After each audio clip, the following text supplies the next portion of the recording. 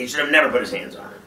But he did. Honestly, I could see a drunk fan doing it, I guess, to be honest with you. But I, I gotta be like, what's with the owner? Like, one of the owner, he's literally, whether you like it or not, they keep trying to change his status.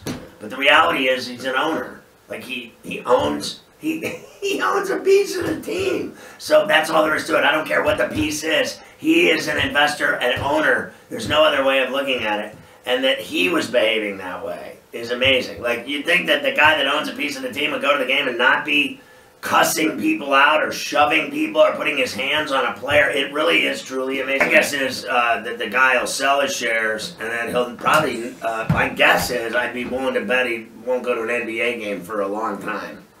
He may just be done with it. Like I don't need this. It's already because they've already ruined his life. Like the guy has been. No one knew him yesterday.